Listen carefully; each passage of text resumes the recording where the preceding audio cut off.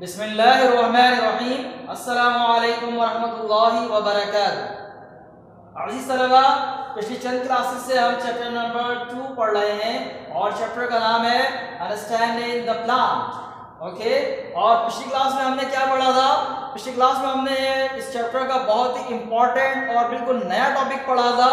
उसका नाम था pollination and agents of pollination याद आया? और हमने आपको काम दिया था कि आपको पॉलिनेशन की डेफिनेशन याद करना है और उसके एजेंट्स के नाम याद होने चाहिए। और एक छोटी सी एक्टिविटी हमने किताब में आपको करने के लिए दी थी पेज नंबर थर्टी पर एक्टिविटी नंबर सिक्स तो उम्मीद है कि आपने वो काम मुकम्मल कर लिया होगा। आज की क्लास में हम पॉलिनेशन से जो अगला स्टेप होता है प्लांट की ज़िंदगी में प्लांट की लाइफ में पॉलिनेशन के बाद जो स्टेप होता है, जो मरहला होता है उसके बारे में गुफ्तु करने जा रहे हैं। तो उसके लिए ज़रूरी ये है कि आपको पॉलिनेशन की डेफिनेशन याद हो। एक लाइन की डेफिनेशन थी क्या? Transfer of pollen grain from anther to stigma is called pollination okay transfer of pollen grain from anther to stigma is called pollination तो ये डेफिनेशन आपके जहन में है। क्या मीनिंग्स बताए थे मैंने इसके?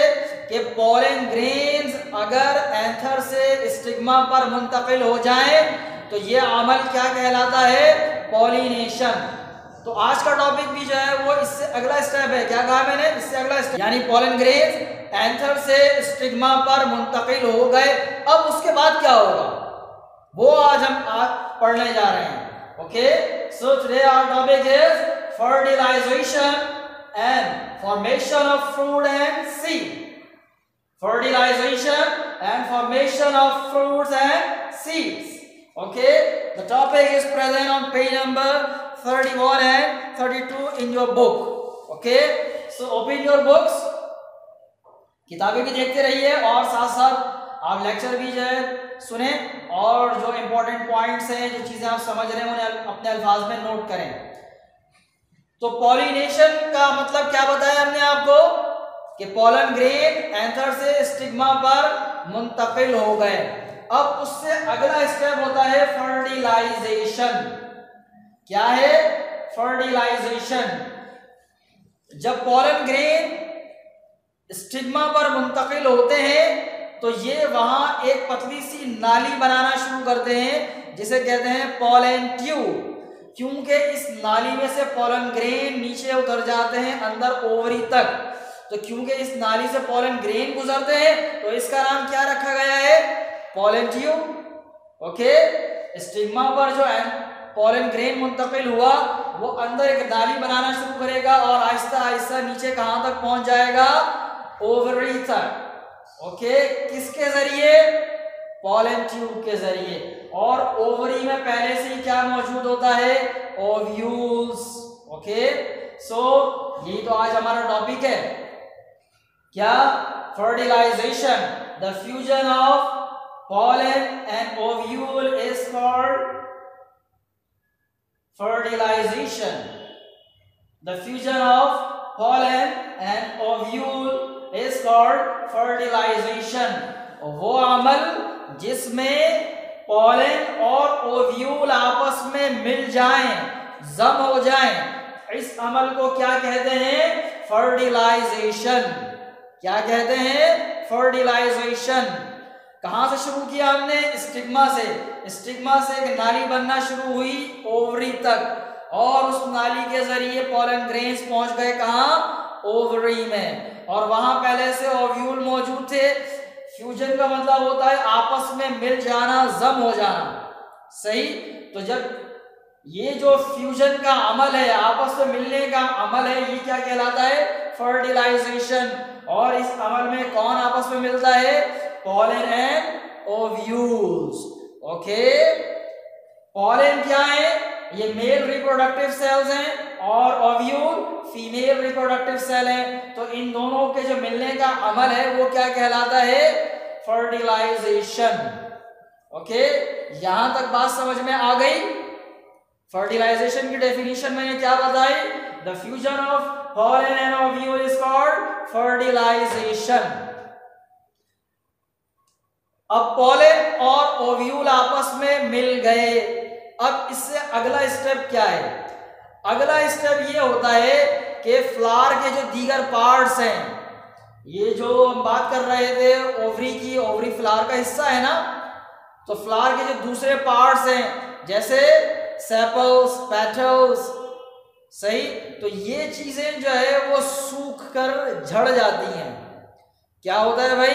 ये चीज़ें ड्राई हो जाती हैं, सूख जाती हैं और ये झड़ जाती हैं और अंदर जो ओवरी है सही? वो डेवलप होना शुरू होती है।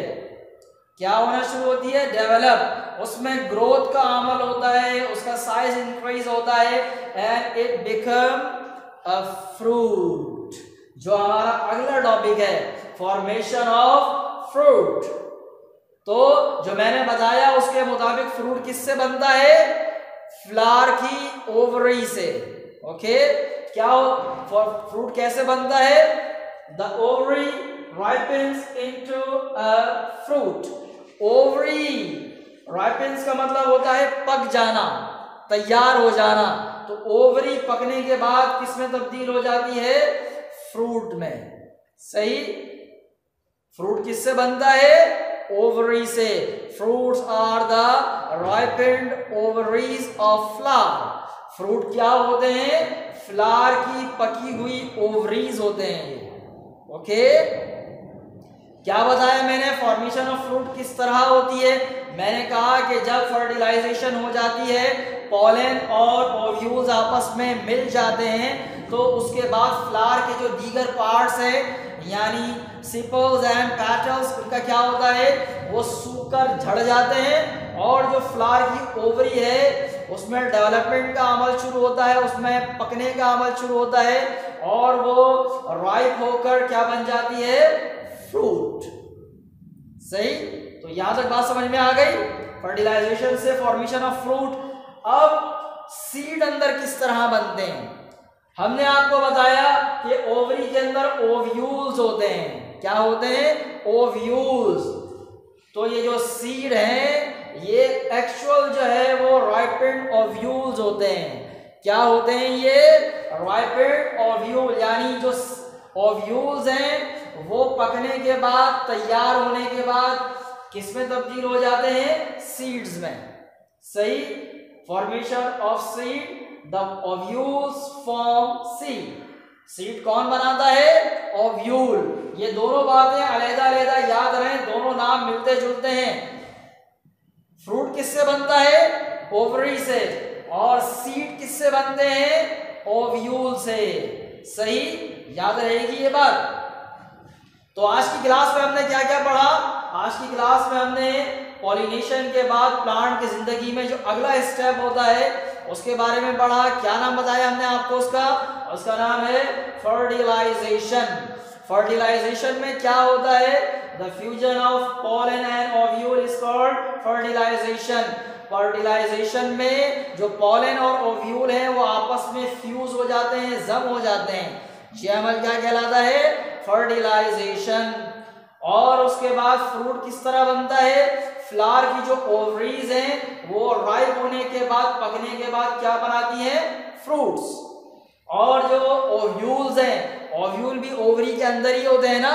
तो ये ओव्यूल जो है वो क्या बनाते हैं? सीड बनाते हैं। सही? तो अब फलों के बारे में थोड़ी सी गुफ्तु करते हैं। ये जो फ्रूट हैं और सीड है, उनके बारे में अगला टॉपिक जो है आपकी किताब का, इस चैप्टर का तकरीबन जो है वो सेकंड लास्ट टॉपिक है ये फ्रूट एंड सीड तो फ्रूट एंड सीड के बारे में आपको ये तो पता चल गया है कि ये फ्लावर की राइपन ओवरीज और ओव्यूल है। अब फ्रूट जो है वो दो तरह के होते हैं। सही फ्रेश फ्रूट्स होते हैं और ड्राई फ्रूट्स होते हैं। सही ड्राई फ्रूट समझते हैं ना और फ्रेश भी समझते हैं। फ्रेश फ्रूट से मतलब apple banana orange mango strawberries okay and dry fruit almond walnut ठीक है? और कैशूनट काजू, चिलगोजा पाइन ओके तो ये क्या है सारे? ड्राई फ्रूट्स हैं। और उसके बाद आप जो फ्रूट्स खाते हैं तो हर एक फ्रूट में क्या एक बराबर सीड होते? जैसे आपने सेब खाया है, सेब में एक सीड होता है या एक से ज़्यादा सीड होते हैं? एक से ज़्यादा सीड होते हैं एप्पल में एक से ज़्यादा सीड्स होते हैं। इसी तरह मैंगो में मैंगो में बहुत सारे सीड होते हैं ना? और नो मैंगो में बहुत सारे सीड नहीं होते, एक सीड होता है बड़ा सा। ओके और इसके अलावा आजकल ऑरेंज का टाइम चल रहा है कीनू आ रहे हैं बहुत ज़्यादा। तो कीनू में सिंगल सीड होता है या मल्टीपल मल्टीपल का मतलब होता है बहुत ज़्यादा, सही? एक से ज़्यादा। तो सिंगल है या मल्टीपल मल्टीपल सीड्स होते हैं। और केले के अंदर सीड होते हैं? बिल्कुल होते हैं। हर एक केले में नहीं होते। केला जब पक जाता है ना तो उसमें आपने कभी देखा हो, एक बारीक सी ब्लैक कलर की लाइन होती है। वो इंतहा बारीक बारीक उसमें सीड होते हैं। ओके और मल्टीपल होते हैं, एक से जायद होते हैं। तो आपने बहुत सारे फल खाए तो किसी में एक सीड होता है और किसी में मल्टीपल तो फ्रूट्स के बारे में गुफ्तु हो गई और सीड्स के बारे में गुफ्तु हुई। अब बारी है आज के होमवर्क की कि आपको क्या करना है। आज जो हमने टॉपिक पढ़ा है formation of fruit and seed इसी से मुताबिक आपकी किताब में एक एक्टिविटी है पेज नंबर थर्टी थ्री पर। किताबें खोली आप, खोली हुई है ना आपने? पेज नंबर थर्टी थ्री पर आ जाए। यहाँ है activity number seven okay page number thirty three पर। खोल लिया आपने? यहाँ पर जो है वो एक लाइन में बहुत सारे फ्रूट्स की तस्वीरें हैं पिक्स हैं। ओके आपको क्या करना है? यहाँ पर मुख्तलिफ़ कॉलम बने हुए हैं। देख रहे हैं ना आप? इसमें पहले आपको फ्रूट का नाम लिखना है, उसके बाद ये बताना है कि ये ड्राई है या फ्लैश की। सही, ऊपर देखेंगे ना तो ये स्पेलिंग्स लिखी हुई है, यहीं से देख के लिखना है। और उसके बाद ये बताना है कि इसमें सीट कितने हैं। वन है फ्यू है, कुछ होते हैं, या मैनी ओके क्योंकि बास फल ऐसे हैं जिनमें चंद सीड होते हैं। किसी में तो एक ही होता है, जैसे मैंगो और किसी में चंद होते हैं, जैसे ऑरेंज उसमें कुछ सीड होते हैं और किसी में बहुत ज़्यादा सीड होते हैं, जैसे पपीता और वाटरमेलन सही? इसमें बहुत सारे सीड होते हैं। तो यहाँ पर तीन कैटेगरीज आपको दी गई हैं। आपको बताना है कि किसमें वन है, किसमें फ्यू फ्यू का मतलब होता है चंद। सही? और मैनी का मतलब बहुत सारे। तो एक्टिविटी कर लेंगे आप लोग ये। ओके पहले फ्रूट का नाम, फिर उसके बारे में ये बताना है कि वो ड्राई है या फ्लैशी है, और फिर उसके बाद उसमें नंबर ऑफ़ सीड बताने हैं कि वन है फ्यू है, या मैनी यानी बहुत सारे हैं। ओके तो और अब बात करते हैं इस चैप्टर के आखिरी टॉपिक के बारे में। और हमारा आखिरी टॉपिक है जर्मिनेशन इसको शुरू करने से पहले एक बात मैं आप लोगों से पूछता हूँ कि आप लोगों ने कभी नए पौधे उगाए हैं? आमतौर पर पौधे किस तरह उगाए जाते हैं? आमतौर पर हम ये करते हैं कि जिस चीज़ का पौधा उगाना हो तो उसका बीज ज़मीन में लगा देते हैं, सीड लगाते हैं ना। और क्या करते हैं? और उसमें जो मिट्टी होती है उसमें खाद भी मिलाते हैं और उसमें कुछ पानी भी देते हैं और उसको रोशनी में रखते हैं। और उसके बाद क्या होता है कि उससे एक नया पौधा निकल आता है। ऐसी होता है। तो यही तो आज का हमारा टॉपिक है इसमें। जर्मिनेशन और क्या है? जर्मिनेशन यही है। आपके पास जो स्क्रीन पे लिखी हुई डेफिनेशन नज़र आ रही है the process in which seed develop into a new plant is called germination the process in which a seed develop into a new plant is called germination तो जर्मिनेशन यही है, सही है? वो अमल जिसमें बीज से एक नया पौधा निकल आता है, उस अमल को क्या कहते हैं? जर्मिनेशन यानी बीज से नया पौधा उगने का अमल क्या कहलाता है? जर्मिनेशन जब हम बीज को ज़मीन में लगाते हैं तो उसमें आहिस्ता आहिस्ता जो है वो उसके अंदर एक नन्ना सा पौधा छुपा हुआ होता है। वो डेवलप होना शुरू होता है, बढ़ना शुरू होता है और ये तस्वीर में आप देख रहे हैं। फिर आहिस्ता आहिस्ता रूट्स निकलती हैं और ऊपर की तरफ़ वो पौधा निकलता हुआ आपको नज़र आता है। तो वो अमल जिसमें बीज से नया पौधा निकल आता है, उसे क्या कहते हैं? जर्मिनेशन क्या कहते हैं? जर्मिनेशन तो अल्हम्दुलिल्लाह, इस चैप्टर के तमाम जो टॉपिक्स हैं, वो हमने कवर कर लिए। Chapter number two understanding plant हमने मुकम्मल पढ़ लिया। इन दो तीन दिन में आपके पास इसकी पीडीएफ फ़ाइल पहुँच जाएगी। तो हमने जो एक्टिविटीज़ आपको करने के लिए दी थी उन्हें आप देख लीजिएगा कि आपने सही की हैं या नहीं की उसको टैली कर लीजिएगा। और जो एक्सरसाइज के सवाल हैं, वो भी उसमें हल करके आप तक भेज दिए जाएँगे।